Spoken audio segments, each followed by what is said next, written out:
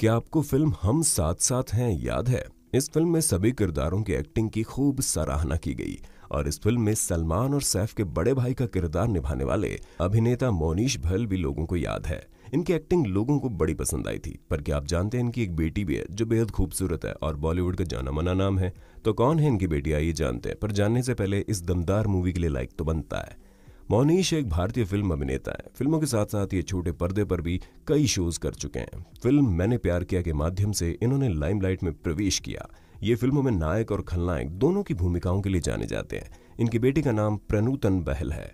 इनका जन्म 10 मार्च उन्नीस सौ तिरानवे को हुआ। प्रनूतन बचपन से एक्ट्रेस बनना चाहती थी। ये पेशे से एक लॉयर है।